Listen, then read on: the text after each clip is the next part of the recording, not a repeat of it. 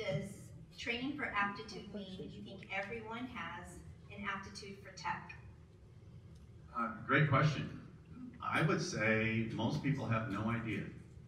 Um, when we did our eight-week coding, we did it at night, and I said, at the end of eight weeks, I only have two questions I want you to answer.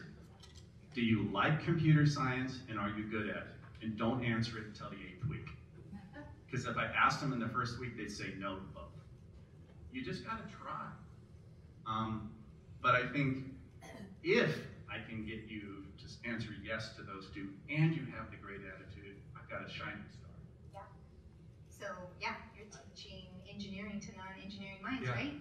Um, and, and the other thing I would say, when we think about what the state of technology is right now and where it's going, it maps pretty closely to how we think about code. And just quick show of hands, does anybody here use spreadsheets? Cool. Here's the evolution that we're hoping to see with a lot of these technologies. If you, if you back up 60, 70 years, you had to be able to program in machine readable code, punch cards, right? It got a little bit better with assembly language, it got a little bit better with compiler languages. Then you began to get into scripting language that started to look a little bit more like English. And then you got into things like spreadsheets. There was this progression where the technology, there was a concerted effort to democratize it, to make it easier and easier to use.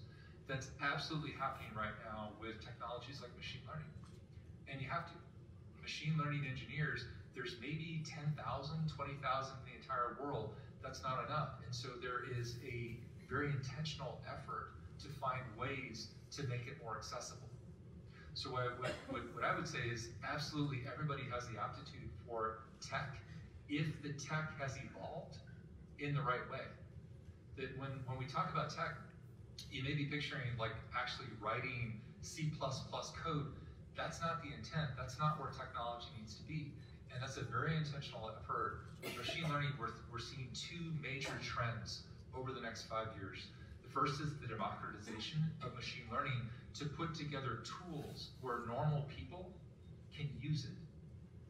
And then the second is, and, and we can talk about this afterwards, but machine learning, we're beginning to find ways that it can handle multiple tasks at the same time.